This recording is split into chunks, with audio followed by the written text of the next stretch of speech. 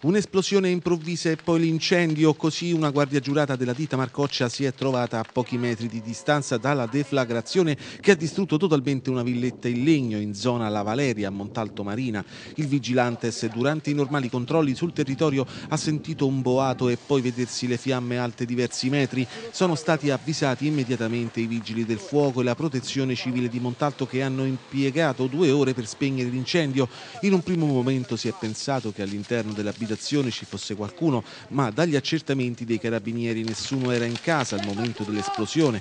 I carabinieri e la protezione civile hanno dovuto sfondare il cancello di entrata per riuscire a far passare i mezzi di soccorso. Sul luogo dell'incendio sono dovute intervenire due squadre dei vigili del fuoco che hanno messo in sicurezza tutta l'area interessata dall'incendio. A causare l'esplosione probabilmente è stata una bombola del gas, ma è tutto ancora da chiarire anche perché i carabinieri hanno trovato la rete di recensione della villetta di Velta città. Le fiamme hanno quindi bruciato tutto, persino una barca all'interno del giardino è stata completamente distrutta dal fuoco. Sul fatto sono ora in corso indagini da parte dei carabinieri di Montalto per stabilire le cause dell'incendio.